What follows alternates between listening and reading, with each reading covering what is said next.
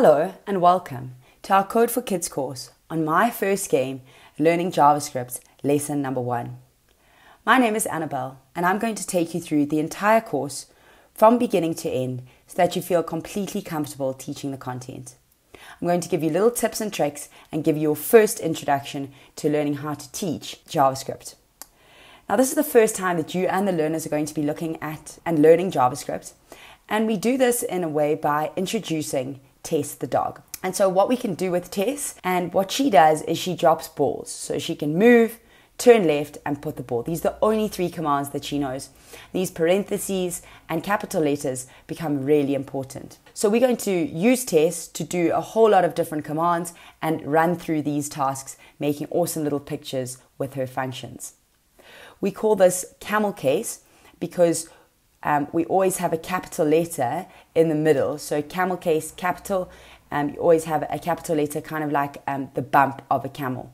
So that's a nice little tip. You always say camel case, having a little bump there. All right, let's move on to the languages. So Tess understands JavaScript, and what we've learned previously in my first website is HTML, the builder, and CSS, the artist. HTML keeping everything together in that website, and CSS adding some colors.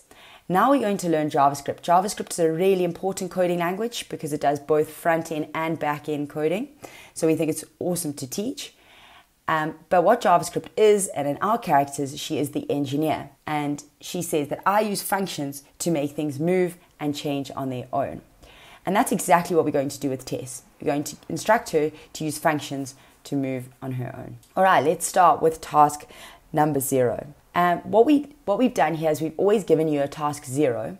This is so that you can go through this one with the learners and then you can let them do the rest on their own. Remember our important code for kids steps that the learners need to use their mouth and not their mouse when helping one another and that they must help each other. You can't give them all the answers. Okay, let's have a look at this page. So what we've got here uh, in these three rows is what brings up Tess on the right hand side. And so that there is telling us where the dog is sitting in the x coordinate and in the y coordinate. And then we've got it enclosed between these two script tags. And these script tags are used to find what is called client side script. So in between here, client your client side script is going to be the JavaScript. So that's all the way there.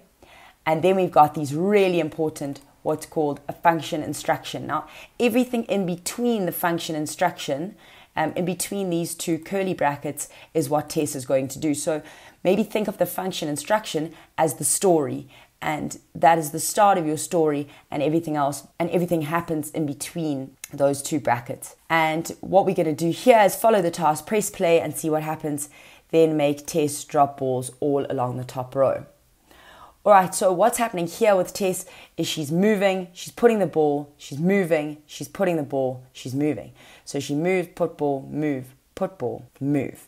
What are we missing to make Tess the dog drop balls all along the top row? So what we're missing here as she moves too quickly is we're missing this put ball. And like I said, the capitals and the parentheses being really important. She's putting the ball down three times. We needed to put it down five times. So we need two more of those. Like to keep it in line for neatness sake and we don't need that last move because then she's going to go into the wall.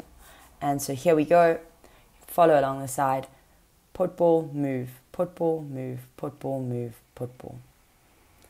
Awesome. And that is how the tasks go. Now we move on to task one and two. This is where you can let the learners do it on their own. We've told them they can start their code below here. This is just a comment. Start your code below here. Task one, press play and see what happens and then make Tess drop balls so it looks like task one in the answer tabs. This is the first introduction to this answer tab, which we use and refer to a lot. The answer tab is over here, and it's going to give you exactly what you need. So we want Tess to drop balls in a little four square. And this is the first time we're going to introduce the other command, which is turn left. So we've got a move, put ball, move, turn left, move. All right, awesome. So what we know now is that again, Tess needs to turn left.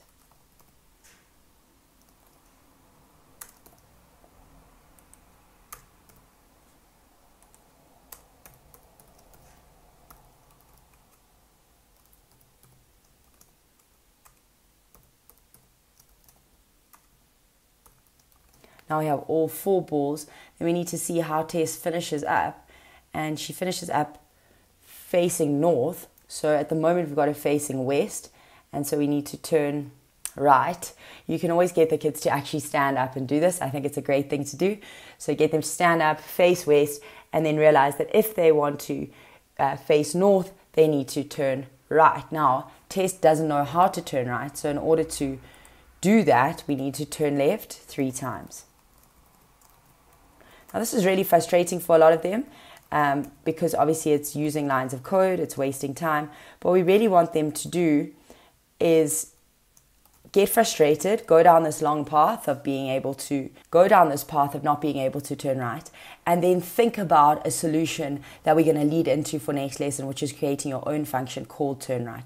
So turn right is always going to be turn left three times, but how can we minimize this code? How can we stop from writing turn left all the time?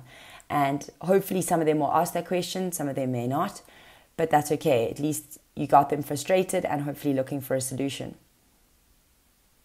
Right, then I just need a little move there.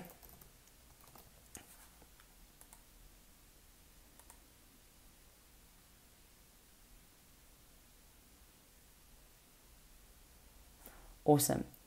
And let's check the answer tab. Yes, that looks great. Task one. Task two, very similar. Um, task three, making a T. And then task four goes from 4.1 to 4.2 to 4.3.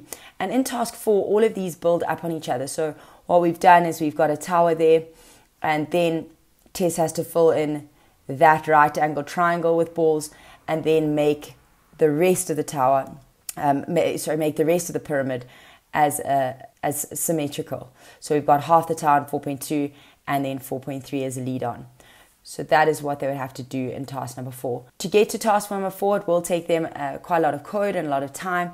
So if you want to split this lesson over two lessons, that is completely up to you. You can do that if you if you wish. But that is the end of Tess the Dog, the first introduction uh, to JavaScript. We hope you have a fantastic lesson and that your learners really enjoy it.